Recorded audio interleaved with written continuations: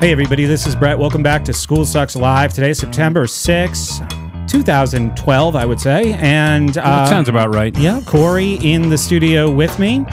On the phone, we have Larken Rose, and we also have a caller named Jason. We spent the last segment talking about oh, this language of, of government. And uh, Jason had called me before the show and said that he uh, believed he had identified a contradiction in, in our position. We're going to get to that. But when we went to the break, I had asked him what he felt like the ideal form of government was. We had identified uh, the Constitution as that. And then during the break, we actually had a little bit of chatter there uh, about uh, did the Constitution work? So, Jason, I'll start by opening it up to you. Um, a lot of people have a lot of reverence for the Constitution. We are, uh, you know, 240 years later, uh, looking back and evaluating how it went, I would say, uh, did it work? And you would probably say no, but it seemed like you were putting some of the blame on um, the development of the corporation in America as a person.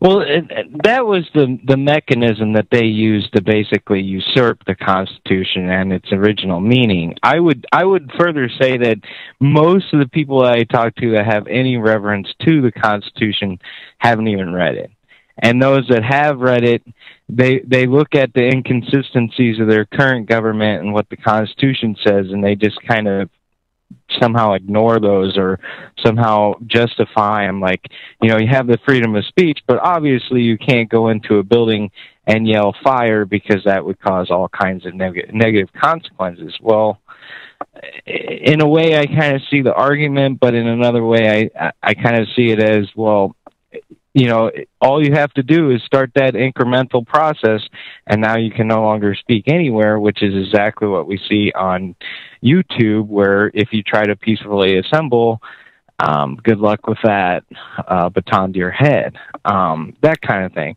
But as far as the contradiction i, I kind of want to isolate that and go into specifics. Sure. you you you're basically saying that you know we we can live without a government is governments are bad we can do better I'm saying Um, we could can one live- day. Yes. I'm saying we already Okay. do.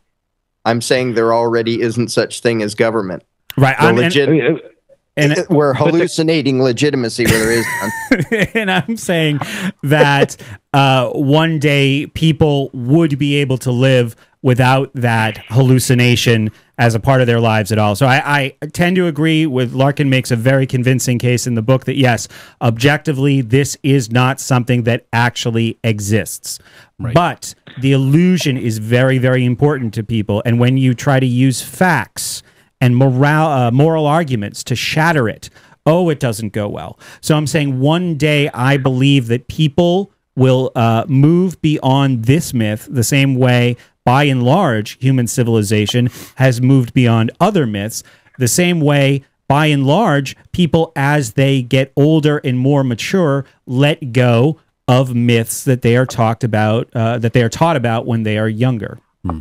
Like santa claus Santa Claus, the Exactly. Easter Bunny. Uh, for me, it went uh, Tooth Fairy, Easter Bunny, Santa Claus, God Government. well, well, well to, to just briefly say some about my background, I, I was kind of ahead ahead of the mark. I had my realization at the age twelve, but no one around me could, you know, basically see what I saw, and and I basically had to deal with everything on my own. And, you know, that was kind of an isolating, you know, force upon me. But the contradiction that I see basically with your argument is how can you have a collaboration of a, a, even a moderately sized group without some sort of organization? Oh, I'm and not. and that I'm not at all anti-organization. I'm saying Well- no human being has an exemption from morality. And if you use the example of the Constitution, it Article 1 Section 8 is a list of exemptions from morality. They're allowed to steal. Congress shall have the power to lay and collect taxes.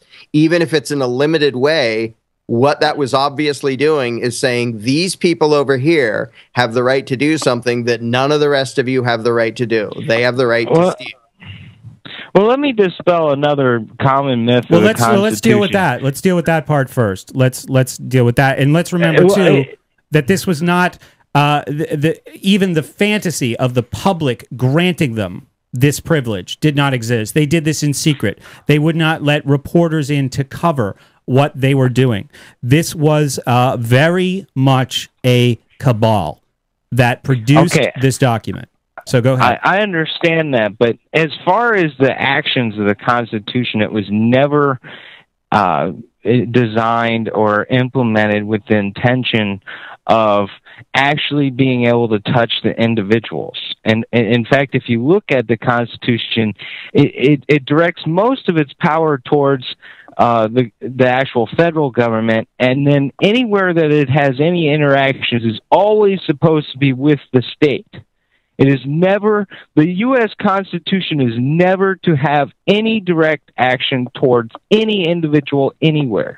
Well, I, have heard that I've heard that before, and we can guess about intentions. But look what the words actually say. Congress shall have the power to lay and collect taxes. And then it goes on with the restrictions.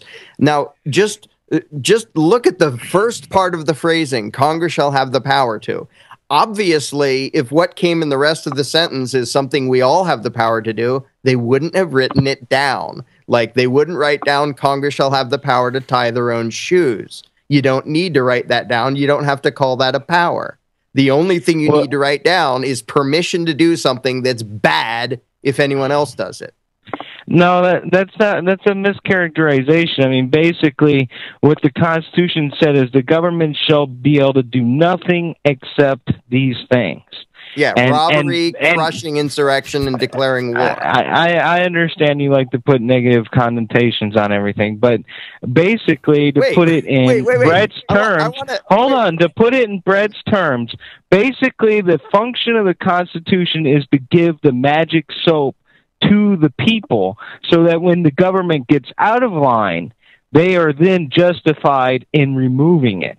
That is the real power of the Constitution. It's not. It, Did you it, notice it, it utterly failed? No, but that's and, and, and, that's not the argument. The magic soap or the magic costume, as it's called, is what the people in government have right? Yeah, it doesn't say the people shall have the power to lay and collect taxes. It says Congress. The people don't get the magic soap or the magic costume. That's but, for the but rulers. If, if ahead, you Larken. say it's a negative connotation, I want to hear your positive connotation on telling somebody that they're allowed to demand money from somebody else and hurt them if they don't pay up. What's the positive way to uh, describe that? Oh, well, to put it in context, I mean, what I was trying to say is that the federal government only has power to tax the states. Who says? And then, well, that that's exactly what it was intended to do. I How mean, do you know that? You, by research. Research what? That's not what the words say. It's not what the Federalist Papers say. You know what? Federalist. Here's what we're going to have to do. Jason, I've got uh, more stuff that I need to do in this show, and I want to keep the phone open for other callers. It's lit up a few times. We're uh, going to be on after midnight. Larken might not stick with us. I can talk to him about that uh, in a few minutes. But uh, if you want to call us back and keep this conversation going, you can. Uh, for now, I'm going to have to let you go to open the phone back up. Uh, we're going to take a quick break. This is School Sucks Live. Take control of your money today and do it with style.